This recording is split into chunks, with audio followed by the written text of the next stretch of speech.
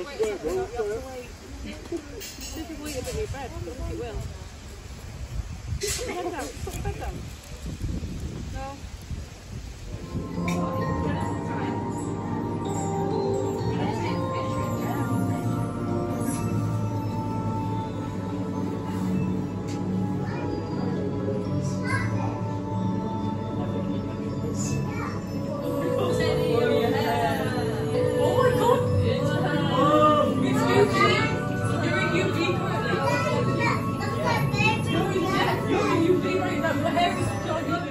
So once they choose a mate, they will stay with that mate for life.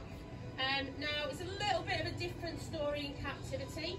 Um, so some of our guys and girls here have been a little bit naughty. They've switched.